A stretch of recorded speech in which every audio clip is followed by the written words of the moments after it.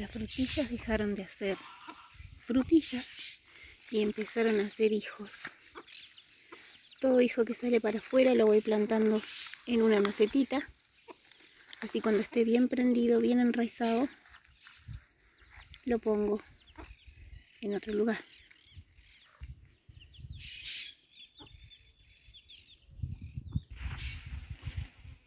Quedan algunos girasoles todavía. La planta de caigua se va prendiendo en el alambrado, todo hacia allá, pero todavía no ha dado frutitas. Confío que pronto lo haga. El caballo comiendo la maleza que quitó de la huerta siempre. Y es tiempo de berenjenas. Miren qué preciosura de berenjena. No recuerdo bien los nombres. Yo solo le llamo berenjena rallada. Pero les quiero mostrar una en particular que no son esas, sino que es esta.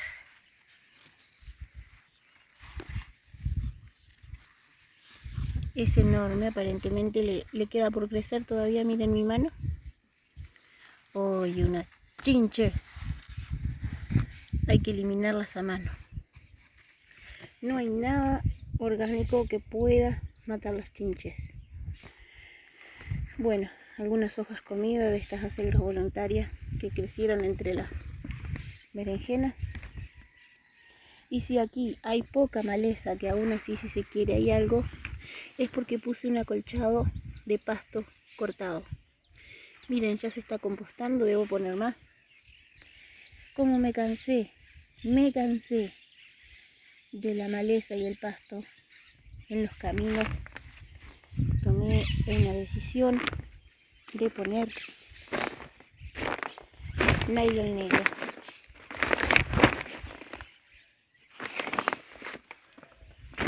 Esto va a ir matando la gramilla porque se me subía para los canteros. Este cantero lo limpié ayer estaba totalmente seco, no tenía nada. Voy a ver qué pongo acá. O quizás lo voy preparando para los sembrados de otoño-invierno que ya tengo en el máximo. Dejé ese kale o kale porque está lindo, no está florecido. Y aquel kohlrabi para semillas porque no tengo más semillas de él. Así que lo dejé para que se floreciera.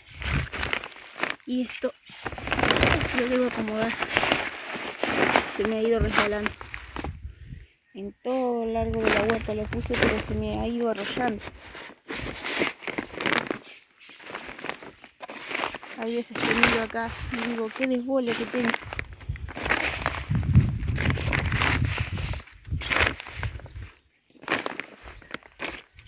Hola caballito. Hola. Vení. Caballo está en proceso de doma y es manso para abajo, o sea, para venir a tocarle la cabeza y eso, porque le gusta que le convide con algo. Es como Petete, el carnero, y como mi cabrita chispita, pobrecita.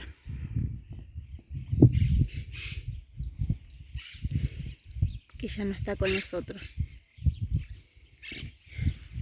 Todos se dejan tocar, pero para que los convide. Ustedes son unos interesados. Vamos por un poco de acelga para convidar.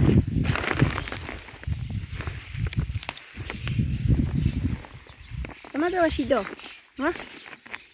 Toma. Tome. Ahora se me fue.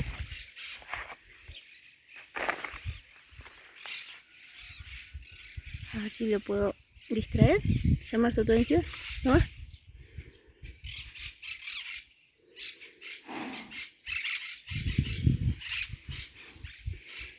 Seas payaso. Si te gusta, ¿eh? Me había desaparecido los videos porque hacía mucho calor. No estaba haciendo nada más que cosechar tomates y regar. No había mucho que mostrar. Y a propósito de los tomates, se recontra enfermaron Llegaron las plagas, no pude controlarla, la chinche negra africana, esa que pica los tomates y los deja feos. Así que ahora capaz me doy una vuelta por allá y, les muestro cómo está todo, pero ya les digo, no es nada alentador. Lo que hice fue sacar unos chupones y ponerlos en un cantero a ver si da tiempo de cosechar algo antes de la primera helada.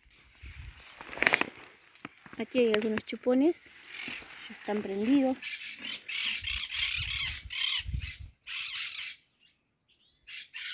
Y ahí hay unas acelgas voluntarias también. Está todo con acolchado para que mantenga la humedad. No saben cómo me ha ayudado. Las berenjenas no estarían vivas, por ejemplo, de no ser por un acolchado que le puse así igualito. Bueno, la papa del aire. No puedo dejar de no mostrar. La albahaca morada que puse por ahí. Este tomate lo puse a principio de temporada, dio unos pocos y se estaba por empezar a secar pero cuando acomodé este cantero para poner los chupones, eh, se enderezó y empezó a dar hojas como loco, así que pienso que va a dar algún tomate también. Bueno, la papa del aire también empezó a crecer para arriba y lo que tiene la papa del aire es la particularidad de hacer crecer gallina. Miren. Hola. Los animales tienen la capacidad de saber dónde hay comida para sus pichones, así que ella se enclacó ahí porque sabe que en la huerta siempre hay comida. Ay, no. Aquí tengo una planta de, de calabaza serpiente de Sicilia. Estoy tratando que se enrede ahí. Aquí tengo una sobreviviente de pepino. No he comido pepinos de mi huerta este año.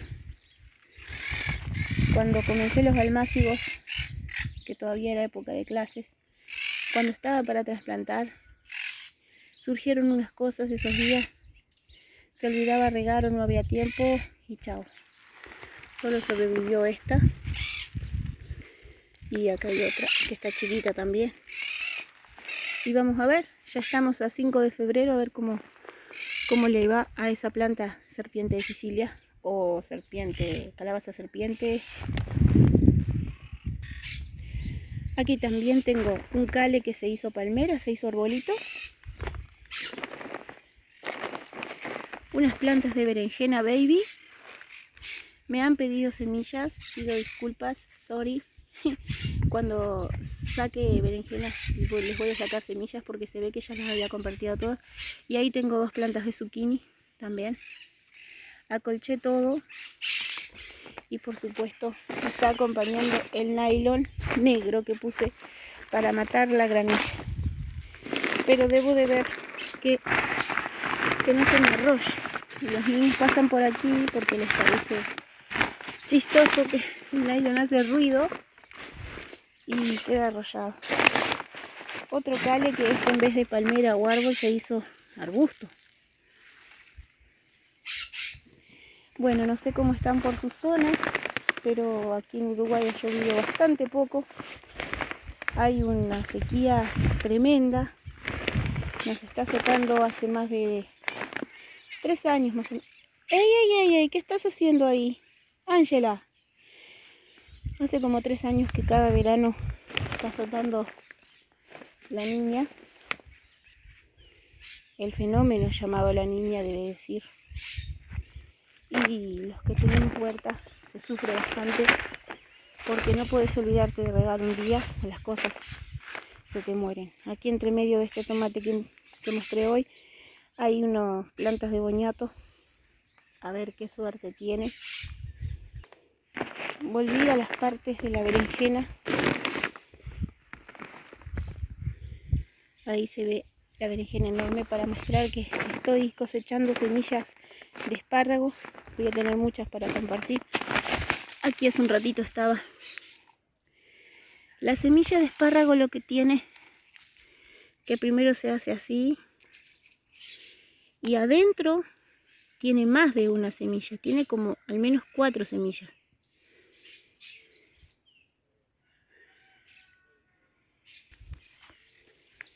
Aquí tengo dos plantitas más de zucchini, no, cuatro, cuatro. Entre medio había puesto unas plantitas de, flores, ahí no me acuerdo el nombre, ilusiones creo que se llaman. Unos maicitos que quiero preservar. También a los maíces han venido plagas, unos escarabajos amarillo y negro que se comentó. Eh, en este cosito planté zanahorias, pero en vez de zanahorias están haciendo árboles de paraíso, porque la tierra, claro, es de donde están las gallinas, que hay muchas semillas de paraíso que debo ir quitando así. Miren la raíz que tiene. Y ahí va la enramada de tiguano. Aquí quedan algunos tomates, unos girasoles y así se ve la huerta con el nylon puesto. No es lo más orgánico del mundo, pero tampoco está afectando demasiado a la tierra porque es solamente en los pasillos para matar la maleza que se sube a los canteros bancales. Y bueno, eh, como medida drástica porque no, no tenemos tiempo para limpiar de continuo y tener bien, bien limpios de pasto y maleza. Bueno, y llegamos a la parte del invernáculo, están los tomates, el invernáculo sin techo para los que son nuevos y no lo saben o no lo recuerdan, sin techo de nylon, porque lo voló el viento y no tenía más dinero para volver a comprar. Esto es lo que pasa en un huerto de campo, se llena mucho de pasto. Aquí viene sobreviviendo un patison para semilla, no me lo quiero comer. Estos son los zapallitos de tronco. Algunos está dando, alguno que otro. Los topinambur topinambos, alcachofa de Jerusalén, girasol de Canadá, tantos nombres. Aquí está todo seco, si ven, plagas, sequía, vacaciones, pero más que todo la sequía porque incluso regando no alcanzaba. Y aquí lo que ha sobrevivido y subsistido más son las chauchas moradas o violetas eh, ahí lo que predomina es la otra enredadera de, de kiwano. Ahí los tomates ya no están dando, están más hacia allí adentro, así que no iré por allí porque puede haber hasta víboras en todo este pastizal. Lo dejé todo venir cuando vi que se enfermaron los tomates. Sí.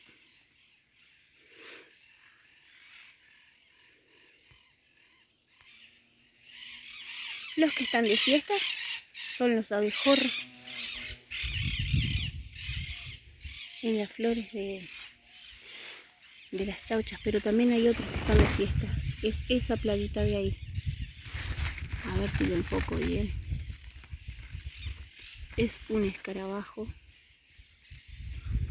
que se come todo. Infecta todo. Aquí. Ahí estaba. Se come la barbita del choclo, que es por donde se poliniza, y luego después el choclo ya no tiene granos. Maleza, plaga. Y no me frustro, yo pienso que el año siguiente va a ser mejor. No siempre hay que mostrar solo lo bueno, lo que vamos cosechando, los montones de cosas que vamos cosechando, las plantas buenas, las lindas. También hay que mostrar este desorden o desmadre, que es un zapallo que se creció entre los tomates y, y tomó todo, pero está sobreviviendo a pesar de las plagas, por lo que se ve es más resistente que los tomates. Ahí hay un tomate grandote, pero no todo es lo que parece. Ustedes piensan, tiene un tomate para cosechar, pero miren, ¿ven? A esto es a lo que me refiero. Este verano la sequía ha traído muchas más plagas que en años anteriores y esto es lo que sucede. Se vienen a comer donde, donde está fresco, donde se riega. Pero el año que viene lo intentaremos de vuelta, o sea, este año cuando hagamos los almácigos de tomate. Y voy a ver si los comienzo más tarde y no en julio, mitad del invierno, como como todas las veces. Allá tengo seis plantas de, choclo guaraní, creo que ese es súper alto. Mide como dos metros y medio. Allá.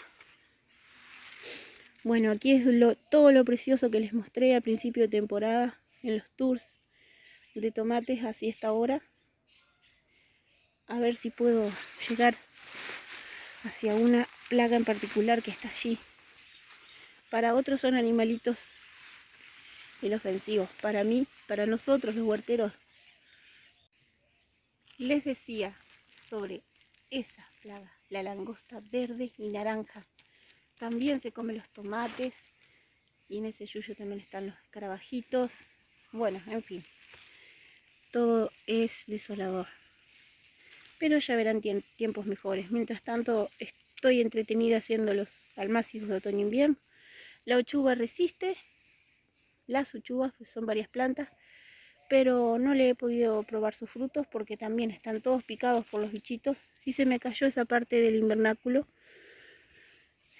que aunque es sin techo, pero se hundió y hay que arreglar todo eso. Lo que sí no le importa nada y no le atacan mucho las plagas son las chauchas violetas se van para arriba, se prenden de lo que sea, así sea un poste, el nylon, una maleza. Miren, esta está prendida en una maleza. ¿Ven? Todos los años sucede esto aquí. Con las chauchas y con las malezas, yuyos, pastos. Y bueno, hay que saber sobrellevarlo. Es un huerto de campo donde también tenemos trabajo. No podemos estar todo el tiempo lo que se pueda cosechar se cosecha, lo que se enferma y no se puede recuperar bien. Bueno, ahí hay unos maíces, unos girasoles. ¿Vieron todo eso que revolotea? Son los carabajitos esos. Bien. Bueno, ya vendrán tiempos mejores. Eso es todo lo que les quería mostrar, amigos. Espero tener mejores cosas para mostrarles en el próximo video, pero también quería mostrarles la realidad.